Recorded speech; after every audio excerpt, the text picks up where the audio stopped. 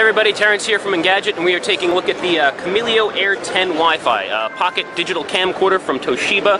Uh, this guy's got a Wi-Fi radio built into it so that you can uh, upload your pictures to various services, including and videos to YouTube, Twitter, Picasa, Facebook.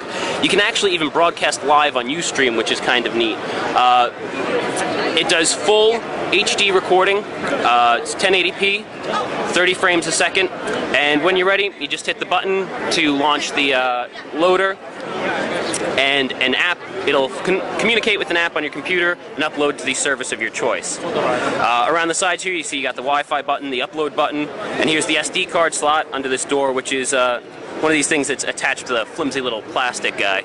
Uh, it's kind of a glossy plastic body, as you can see.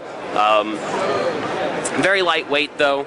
Uh, but doesn't feel too cheap. It's uh, definitely not going to blow anybody away with its ruggedness, but I don't feel like I'm going to break it while I hold it. Uh, this guy's going to launch in February for 150 bucks. Uh, that's it. Thanks for watching.